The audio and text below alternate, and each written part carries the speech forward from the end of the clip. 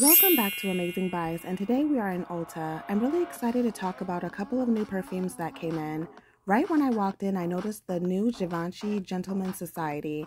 I loved how it was right next to Irresistible on the display, so I'm going to be placing the notes on the screen for each perfume I talk about. Lately, I've been seeing a repeat as far as what notes are being used in cologne, but regardless, this smells amazing. Whenever cardamom and vetiver is mentioned in the notes, I feel like there's going to be a good chance I like it. This cologne would work all year round.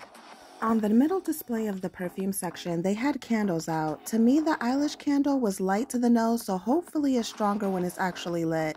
Not sure why my store had Homeworx winter candles out, but they all smelled really nice. Sugar cookie and cinnamon sticks were my favorite. Okay, first thing I want to say about Versace Dylan Purple is that it has a beautiful bottle. This perfume is floral, slightly fruity, and musky. It's not overpowering or offensive. It smells good, just wasn't unique. It kind of smells like a really good shampoo, minus the soapy smell, if that makes sense. Versace Dylan Blue was more on the unique, sophisticated side. The mixture of notes were kind of confusing to me. It starts off aquatic, clean, and powdery, but changes in the middle notes and the dry down. So when trying this, don't dismiss right away.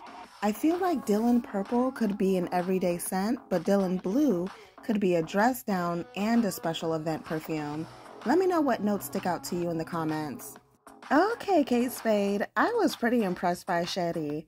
Despite what the notes say, this gave me fields of flowers in Italy type of vibes.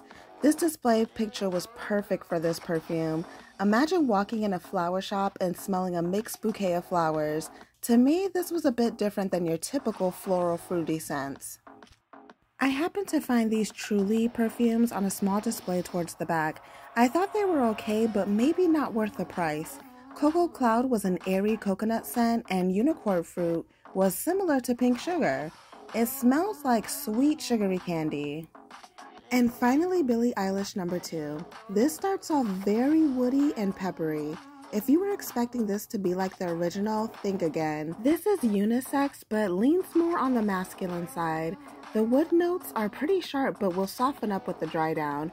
What I think would be interesting is if you layered the original on top of number two. If you try this, let me know and give a shout out to my channel. If you've made it this far, thanks for tuning in. Tomorrow I'll be uploading a video on new fragrances at Sephora.